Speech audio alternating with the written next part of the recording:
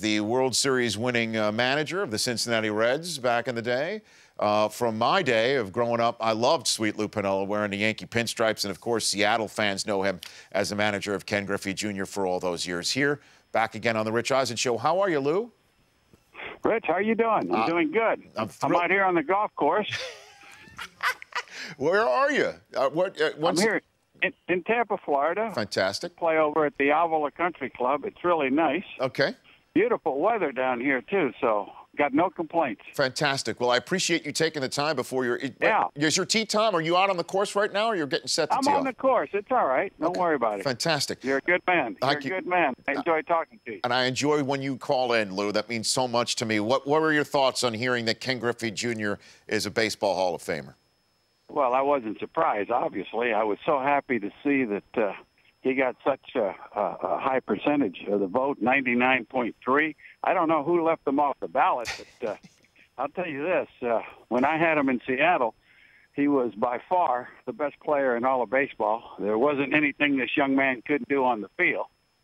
Uh, not only could he hit and hit for power, but he could play center field like one of God's angels, and he could run. Uh, this guy was a great player, and and the thing that made him a little different from the rest of the guys. He had a lot of fun playing. Mm-hmm. He played with confidence. Uh, he enjoyed coming to the ballpark every day. He enjoyed being in the lineup every day and helping the team win. Just a great choice. I couldn't be happier for uh, Junior. I couldn't be happier for his family. They're what, good people. What was he like to manage, to essentially know, from your point of view, having seen as much as you've seen in the baseball game and knowing how special a talent he was? Uh, well, as a manager, you know, as a manager, I enjoyed watching him play. Basically, uh, I just stayed out of his way. I put him in the lineup uh, every day in the three hole, and uh, and let him play. I mean, he uh, there's nothing like I said that he couldn't do on the field. And you know, when I first joined the Mariners uh, in '93 in spring training, he'd hit these towering fly balls that would just go out of the ballpark, and I'd say, "Boy, you know, this rarefied air and." In Arizona, making that ball carry a little more. And the season starts, and everywhere we go, uh, the first month of the season, he's hitting these same balls, and they're going further. So I recognized very, very quickly that this young man was a special talent, uh, a, special player, and that I would be very, very fortunate to, to have him on my roster managing him. Uh, I've got Lou Piniella here uh, on the Rich Eisen show. What's your favorite moment from Junior? You got one? You know, I, you know, my fa- look, I, I, I can I can uh, uh, basically name a litany of, of great moments, but uh, you know, the thing that I remember the most about him is that uh, he played baseball with a, a reckless abandon, and I always used to tell him, especially in that Kingdome with the walls and so forth. I tell him, Junior, uh, we can't have you hurt. When the ball goes off the wall, just let it go. And he'd say, I can't play that way, Skip. He says, uh, when I think I can make the play, uh, I'm going to go out and, and make that play. And he made so many great plays. I mean, he made a play in Detroit one time in Tiger Stadium uh, in right center field. Uh, he must have snatched the ball eight or ten feet into the into the stands. And uh, but the problem was he got hurt a few times too. But listen, uh, like I said, I mean, when I had him, uh, every day was a special treat. I mean, whether and I remember uh, the the '95 playoff season when uh, mm-hmm. we beat the Yankees mm-hmm. and and uh, that tenth inning uh, double by Edgar and seeing uh, Junior just running the bases, scoring from first on a double to down the left field line and and sliding in the home plate, and all heck breaks loose. But uh, listen, I. I, I've been so fortunate in my managing career. I've managed some great players. Uh, last year, I had Randy Johnson, uh, went into the Hall of Fame. Uh, I'm glad to see that Edgar Martinez is starting to get more recognition uh, uh, uh, uh in, in the voting, and this here uh, with Junior is, is special. I mean, uh, uh, there there isn't anything that, uh, that that you can say about Junior except that he was the best player in baseball for a long, long time.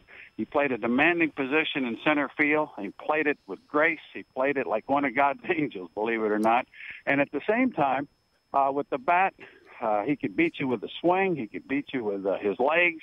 There isn't anything the man couldn't do, and and to see him get into the Hall of Fame and and to uh, get the high percentage vote, uh, I'm so happy for he and his family. Yeah, and he did it in a spot um, look, um, Lou, I'm with Lou Piniella here on the Rich Eisen Show. You know, uh, Seattle was a place where Steinbrenner used to banish people, right? I mean, that was the way it was. that, that's the way it was looked at in turn. It was a baseball Siberia until Junior, yeah. you, Randy Johnson all came along, and yeah, we had.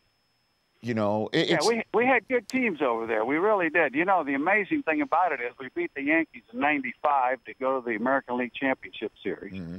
And then I had some really good teams over there, and we could never beat the Yankees again, to much much to my chagrin. But what are you going to do? But I'll tell you what, Junior. Yeah, listen, uh, special. Uh, that's the way to describe him. And what special, about special, special player, special person. Comes from an exceptional family. His father was a great player himself, Ken Griffey Sr. And I, I enjoyed. You know, the amazing thing is when I was at the Yankees, uh, his dad uh, was on that team. Yep. And also, I managed uh, his, his dad my first year in, in New York. And truthfully, uh, I, I got to see Junior firsthand because he'd come out and and and shag uh, in batting practice. He'd take batting practice before, and you could see that this young man was going to be special. And he was a number one draft pick. Uh, and what's amazing about the Hall of Fame is that uh, he's the first number one draft pick.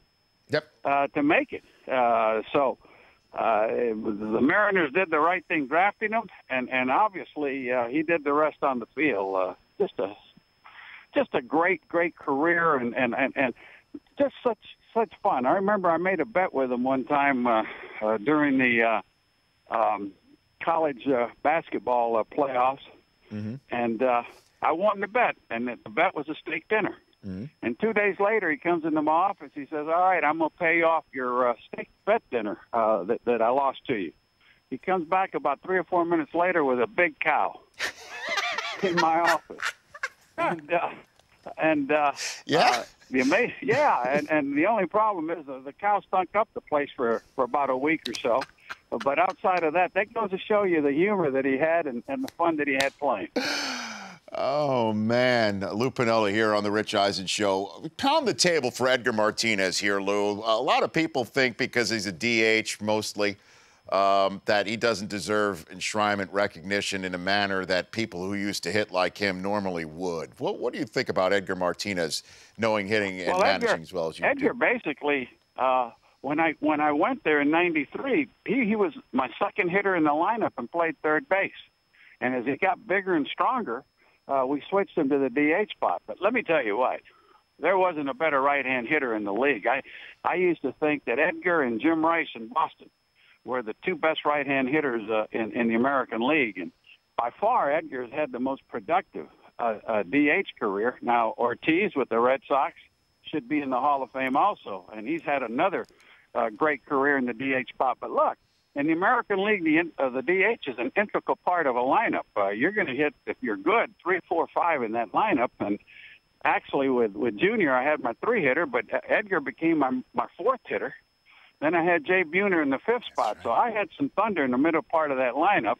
And Edgar, Edgar was special with the bat and a special person too. And and you know he's a hitting coach now for the Mariners. He's doing a heck of a job in that regard also. So mm-hmm. I'm hoping that over the next couple of years, uh, the, the the sports writers continue to vote for him and.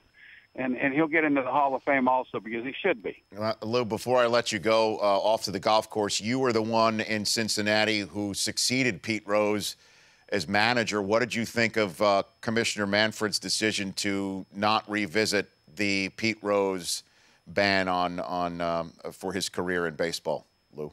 Well, you know, it's a tough situation for the commissioner, and I I, I, I grant you that. But at the same time, I, I was disappointed. Uh, you know, he was the all-time hit leader uh, in Major League Baseball. Uh, he played uh, the game the way it should be played, uh, with hustle, uh, uh, with pride. He played the win. And basically, uh, when he started uh, betting on these games, he was a uh, uh, uh, uh, the manager, and he wasn't going to make it to the Hall of Fame as a manager. But as as a player, you would think that his accomplishments on the baseball field would get him in, and I'm hoping that down the line sometime that that he gets his recognition too. You know, I, I I didn't know Pete very well at all but I've gotten a chance to, to talk to him many times uh, uh, in the past uh, 10 years or so. and he loves the game of baseball. Uh, he's a he's a baseball junkie. Uh, uh, he he he he he, uh, he follows it religiously, and uh, look, the things he did on the baseball field speak for themselves. So let's see what happens with that regard. But I I, I can tell you that the commissioner is uh, is, is is in a tough position with this thing, and uh, and hopefully uh, hopefully somebody will change their mind. Lou, I love talking to you. Love, love talking with you. You are you're you're the best, and I you know I'm thrilled Thanks. that you were taking the time to to talk about one of your favorite players the day after he gets into the Hall of Fame. Go hit him Uh, I'm- straight. I'm honored. I'm honored. I'm honored to uh, be able to talk about him, and at the same time, uh, uh, I'm so happy for him and and and and, and for his accomplishments and, and for his recognition. And I look forward to uh, July when he gets inducted. I'll be there to uh, shake his hand and give him a hug. Fantastic. Go peg it up. What's the Lou Piniella golf game look like these days? What does it look like? Well, it's a 12 handicap, and today I'm not playing to it too well, but uh, yeah, we still I still have 12 holes to go. So Okay. let's see what happens. Fantastic. Lou, thanks for taking the time in the middle you. of your round to do that. It's a pleasure. Thank you so much, Brett. Oh, nice bet. talking to you. Same here. That's Lou Piniella. Come on, man. The Rich Eisen Show, weekdays at noon Eastern on audience.